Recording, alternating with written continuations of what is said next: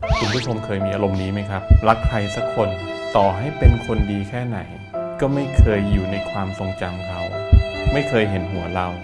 สุดท้ายเราก็ไม่มีที่อยู่เหมือนกับยางตัวนี้ครับ Goodyear Assurance Triple Max 2ไอ้บัสสวัสดีครับคุณผู้ชม Headline Mac ทุกท่าน กลับมาพบกันอีกครั้งในรายการ Burn by Bus กับผมบาสเรืองศักดิ์บัวคำครับ คุณผู้ชมครับ ถ้าเราย้อนกลับไปสักประมาณ 20 ปีที่แล้วเนี่ยคน Generation X แบบผมเนี่ยนะครับ เอาเอาเป็นว่าไปปลาย X นะฮะ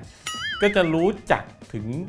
แบรนด์ Goodyear เนี่ยตอนนั้นเนี่ยถือว่าทั้งตลาดเนี่ย Goodyear เนี่ยครอบครองตลาดมาตั้งแต่ตอนนั้น จนมีอยู่ช่วงหนึ่งเนี่ยหลังๆ มันก็เหมือนกับยาง Goodyear เนี่ย มันก็จะค่อยๆ หายไปเรื่อยๆ หายไปเรื่อยๆ แต่วันนี้ครับ Goodyear ประเทศไทยครับ ส่งยาง Goodyear Assurance Triple Max มาให้เราทดสอบ เดี๋ยวผมจะเล่าให้คุณผู้ชมฟังครับว่าเป็นยังไงกันบ้างครับ ยางที่ Goodyear ส่งมาให้เราทดสอบวันนี้เป็น Goodyear Assurance Triple Max 2 นะครับ ขนาด 185 55 R16 แล้วผมก็นำมาใส่กับรถ Honda City ซึ่ง ยางเดิมก็มีขนาดเดียวกันนั่นเองนะครับ จุดเด่นของเจ้า Goodyear Assurance Triple Max เนี่ยต้องบอกว่าเราไปเจอกันตอนที่ผมเนี่ยเข้าโค้งไปแรงๆ ปรากฏว่าเจ้ายางที่หน้าตามันดูธรรมดาบ้านๆ เหมือนยางอีโคทั่วไปใช้กับรถอีโคคาร์ใช้กับรถเก๋งที่มีขนาดเล็กๆเนี่ยใครจะไปคิดครับว่า ปกติยางกลุ่มนี้จะเน้นในเรื่องของการประหยัดน้ำมัน ซึ่ง rolling resistance หรือว่าการต้านทานการหมุนเนี่ยมันจะค่อนข้างต่ำ เพราะฉะนั้นยางในกลุ่มนี้ปกติเวลาเข้าโค้งไปนิดเดียวเนี่ยมันก็จะเริ่มออกอาการครับ เสียงนี่ร้องโหยหวนนะครับ ถ้าเป็น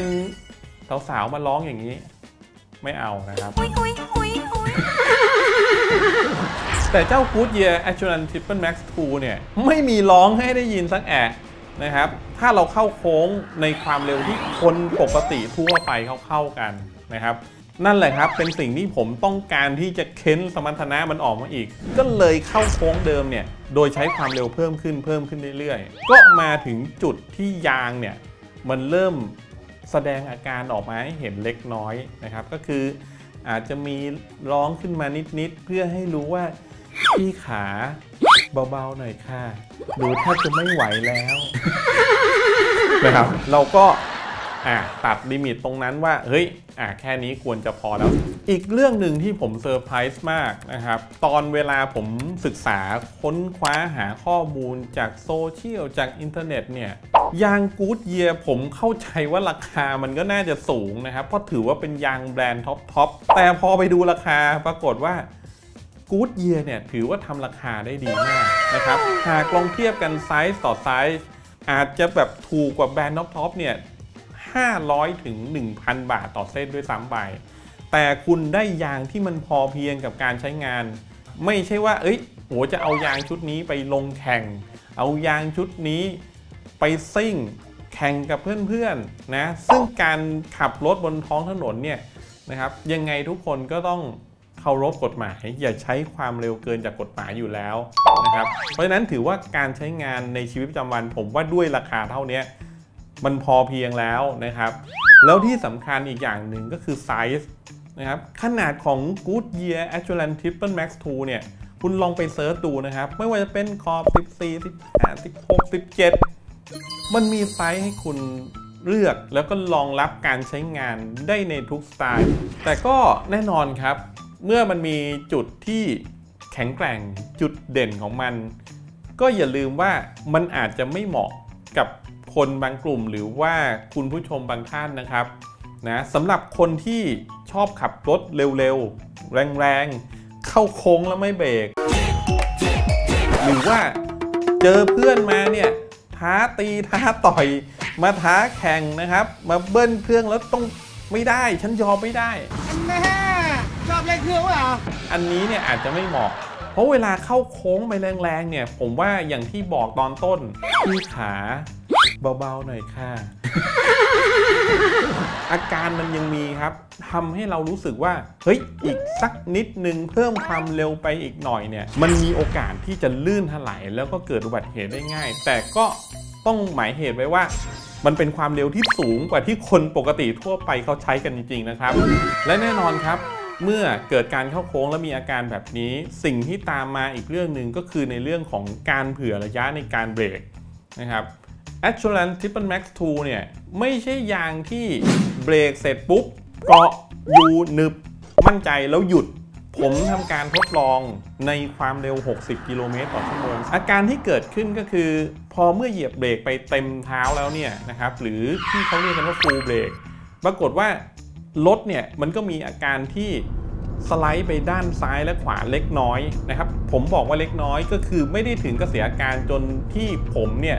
ถึงกับหลอนหรือว่ากลัว แต่มันก็มีเสียงยางมีอาการที่พอจะทำให้รู้สึกว่า เออ มันไม่ได้หนึบแล้วก็มั่นใจ ถ้าเรามีการเหยียบเบรกแรงๆ ในความเร็วดังกล่าวนะครับ เพราะฉะนั้นแนะนำครับเผื่อระยะเบรกไว้เยอะๆขับรถตามคันหน้าก็อย่าไปจี้ อย่าไปกระชั้นคันหน้าให้มาก นี่คือสิ่งที่อยากแนะนำเวลาผู้ใช้เนี่ยเลือกซื้อยาง Goodyear Assurance Triple Max 2 ครับ เรื่องสุดท้ายนะครับที่อาจจะต้องแบบมาพูดคุยกัน เพื่อให้ทุกท่านได้พิจารณาก็คือในเรื่องของการเก็บเสียงนะครับ Assurance Triple Max 2 เนี่ยไม่ใช่ยางที่นุ่มเงียบ เหมือนกับ ตัวท็อปๆของหลายๆ ค่ายที่ทุกคนอวยโอ้ยางตัวนี้เงียบจังเลย ซึ่งแน่นอนครับไอ้ยางนุ่มเงียบเนี่ยบางอย่างมันก็ไม่ดี อาจจะมีการก่อถนนที่ไม่ดีเท่า Triple Max 2ด้วยซ้ำไป เพราะฉะนั้นยางตัวนี้ไม่ได้เงียบมาก เงียบแค่ในระดับกลาง แต่มันก็แลกมาด้วยการก่อถนนที่มันดีกว่ายางกลุ่มอื่นๆนะครับหรือยางที่เป็นคู่แข่งในกลุ่มเดียวกัน เพราะฉะนั้นถ้าใครซีเรียสเรื่องเงียบ ผมว่าตัวนี้อาจจะไม่ตอบโจทย์นะครับสำหรับเบิร์นบายบัสในตอนนี้ก็ขอจบด้วยเวลาเพียงเท่านี้ อย่าลืมกดไลค์ กดแชร์ กด Subscribe ให้ช่อง Headline Magazine ของเราด้วยนะครับ จะได้ไม่พลาดการติดตามในคลิปถัดๆไปสำหรับวันนี้ลาไปก่อนครับ สวัสดีครับ